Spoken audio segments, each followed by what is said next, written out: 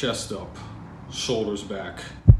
Welcome to Revival Fitness, everybody. And today we're going to discuss the infamous Mexico gym incident video that has gone viral recently. Quick note, guys I'm not going to show the clip itself in this video. YouTube is very, very weird when it comes to stuff like that. My channel is not big enough to really have a fight if they decide to strike me or demonetize or something like that. So I'm not to risk it, guys. You can look at More Plates, More Dates channel. You can see it if you really want to. You probably have seen it already. But I want to talk in this video about a number of misconceptions I've seen people commenting when it comes to this matter because this is not as cut and dry as people seem to think. Like, oh, it's simply an ego lift, which it totally was, but it's more to it than just that. But that's the first thing we're to get out of the way here, guys. I believe it was four plates aside on the Smith machine. Now, the Smith machine, the bar in most of those, it's not 45 pounds. A lot of the time it's 25. But either way, that's a significant amount of weight, and it was apparent that this woman could not handle it. So the first thing I don't know if this was her decision, if it was the decision of the guy she was with. I don't know if this guy is her boyfriend, husband, brother, trainer, whatever the case is. She should have been told whether the guy was recommending it or she recommended to do it. This should not have even happened. So just a quick note there. Don't max out unless you've practiced it before. It's clear from just the setup alone, that's what we're gonna talk about next, based on the setup alone of how she got under the weight, she had no idea what was going on. All right. So whoever let this happen or whoever encouraged this, just no, just patently ridiculous that this was even attempted in the first place. But if you look at the video, the way she gets under the bar, and I know Derek was making the comment how the guy was at the side or whatever. Guys, there was no amount of spotting in the world that was going to stop this from happening. There's the bench right into the platform and she was like this, so it just goes right down. If she did even have the strength to fully get underneath it and get it on her back instead of up here, she probably still would have failed it, but the bench being there, I don't know if you drop it down, if you hit your butt on the seat, I don't know, maybe a herniated disc or some other sort of injury, but I don't think it would have been as fatal as it was if she was able to fully get underneath the weight. There was a guy squatting, I think 365 or so, three and a quarter, and he was able to get under the weight, but at the bottom, a similar thing happened. He did not have the strength to get out of the hole, and then the bar rolls forward on his neck, and he did not have safety arms, so it drug him down to the ground. And he was fine as far as I can tell, besides this like bruise on the back of his neck but it's a similar circumstance. So that's just a quick note for anybody squatting in general, Smith machine, or free weight style with a barbell. Before you ever initiate the first rep, it doesn't matter if it's high bar, low bar, whatever, you need to stabilize it on your back, not up here. And the way she tried to do this, right, that's what led to this happening. It was here only. She was hunched over, unracked it from the hooks, and she just collapsed. So this is rare, evidently, but even so, even if you can handle the weight and get it unracked, so to speak, do not get the weight out of the hooks in any capacity unless you have it stabilized on your back. Anybody who's gonna come in here and try to argue that is an idiot. And that's gonna lead into the next topic here of safety arms. So the clip I just showed of this guy failing the squat when it drug him forward because there's no safeties here, people have been commenting I've seen, oh well she didn't have any safety arms to protect her, etc. It's a Smith machine, guys. It's hydraulically guided weight. There's no way to put traditional safety arms on a Smith machine. However, Smith machines, at least any reputable brand, or if they haven't just been broken off the machine after tons of years of usage, Smith machines guys actually do have safety hooks. I'm gonna call them hooks because they're not arms, right? You can't really take them in and out of the machine. But any legitimate Smith machine should have these things right here.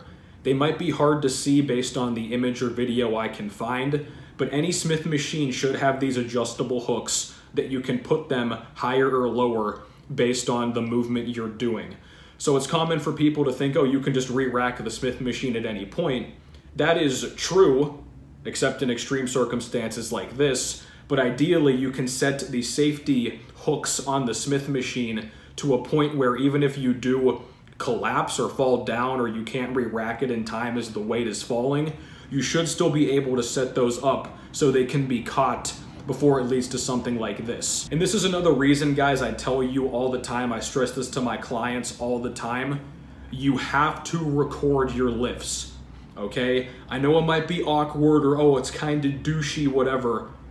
This can get serious, guys, okay? So if you're at the gym, right, because a lot of people set up the safety arms too and they're too low to really have any benefit, record yourself, okay? Get a side angle. It could be a friend recording or a training partner. You could set it up on a dumbbell or a little pre-made EZ bar, whatever the case is.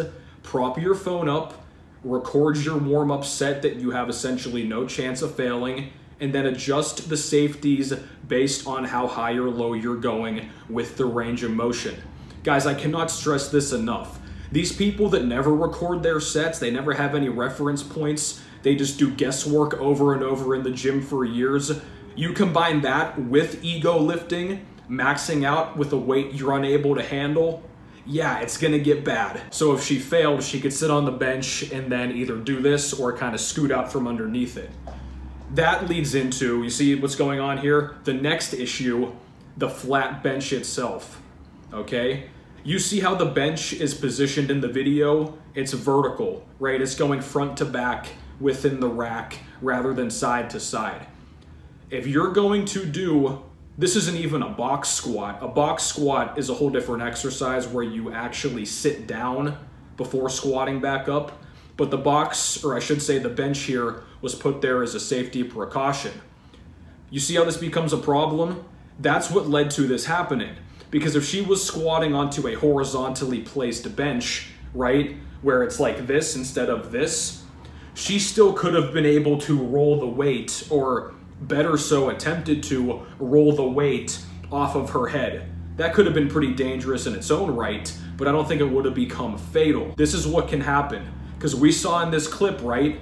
Her head goes forward, it hits into the bench. There's no clearance for the bar to go off of.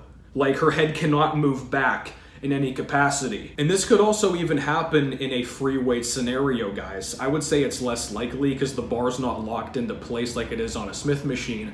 But let's say you put your safety arms just at the wrong height on a free weight squat. Same scenario, vertical bench, and you do the same thing.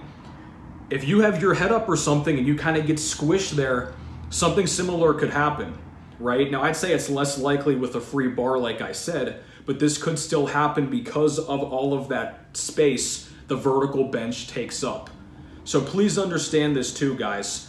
If you're going to put a box underneath you as a means of ensuring range of motion, or just tapping it, or if you're gonna do like a box squat style exercise, it's called a box squat, guys, not a bench squat. I know a lot of people don't have access to plyometric boxes or at least like quality plyometric boxes. If you're going to use a bench for this, which I don't recommend, but if you're confined to only a bench, place it horizontally so there's some clearance in front of you, okay? But that's why plyometric boxes are used in this scenario. You can even stack up like bumper plates or something. Anything that does not have all of this space taken up in the front of it. That's what really doomed this woman, unfortunately, because her head was falling forward, she had no control over the weight, and then no clearance. And then one last point I want to make regarding this incident, it involves the guy again.